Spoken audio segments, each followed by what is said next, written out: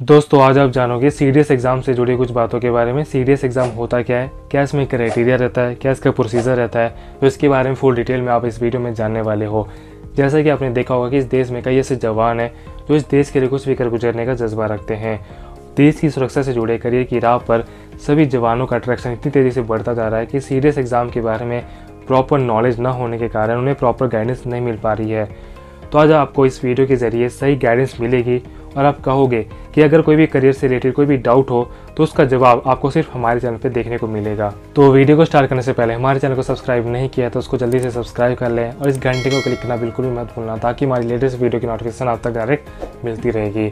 So let's begin पहले हम जान लेते हैं कि सी एग्ज़ाम होता क्या है। सी यानी कि कंबाइंड डिफेंस सर्विसेज़ CDS एक एग्ज़ाम है जो थ्री डिपार्टमेंट के लिए यूपीएससी के ज़रिए CDS का एग्ज़ाम को कंडक्ट कराया जाता है, जिसमें इंडियन आर्मी, इंडियन नेवी और इंडियन एयरफोर्स में जाने का मौका मिलता है। CDS का एग्ज़ाम क्लियर करने के बाद आपको इन थ्री डिपार्टमेंट में से किसी एक डिपार्टमेंट में जाने का एक सुनहरा अवसर मिलता है और CDS का एग्ज़ाम यूपीएससी के ज़रिए हर साल टू टाइम कंडक्ट कराया जाता है, जिसमें इसकी जो नोटिफिकेशन आती है CDS एग्ज़ाम की, वो मार्च टू अप्रैल और साथ में नवंबर टू दिसंबर के टाइम ये जारी होता है। तो आपको इस टाइम में आपको सीरियस एग्ज़ाम की नोटिफिकेशन आपको देखने को मिल सकती है। और इस एग्ज़ाम में आपको रिटर्न टेस्ट और इंटरव्यू होता है, जिसके बाद आपको इन थ्री विंग में से, यानी कि इन थ्री डिपार्टमेंट में से किसी एक में सर्विस करने का एक मौका मिलता है। तो अभी हम बात कर लेते हैं कुछ इसकी एलिजिबिलिटी के बारे में। तो आपको इस एग्ज़ाम को देने के लिए आपको इन तीन कंट्री में से किसी भी कंट्री का नागरिक होना बहुत ज़्यादा ज़रूरी है, जैसे कि India Nepal Bhutan serious exam के देने के लिए आपको कुछ एज क्राइटेरिया रखा गया है, जिसको आपको ध्यान देना चाहिए। जैसे कि इंडियन मिलिट्री अकेडमी के लिए 19 से 24 साल, इंडियन एयरफोर्स मिलिट्री के लिए 19 से 24 साल, इंडियन नेवी अकेडमी के लिए 19 से 24 साल और ऑफिसर्स ट्रेनिंग अकेडमी के लिए 19 से 25 साल तक एज क्राइटेरिया रखा गया है।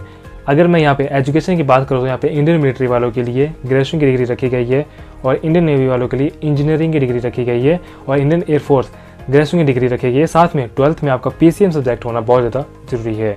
अगर मैं ऑफिसर ट्रेनिंग की बात करूँ तो यहाँ पे आपका किसी भी फ़ील्ड से ग्रेजुएशन की डिग्री होना बहुत ज़्यादा ज़रूरी है। अभी हम बात करते हैं कुछ इसकी हाइट्स के बारे में। अगर आप इंडियन नेवी और इंडियन आर्मी में ज्वाइन करना चाहते हैं तो यहाँ पे आपकी हाइट 157.2 सेंटीमीटर होनी चाहिए और इंडियन एयरफोर्स के लिए 162.5 सेंटीमीटर होनी चाहिए।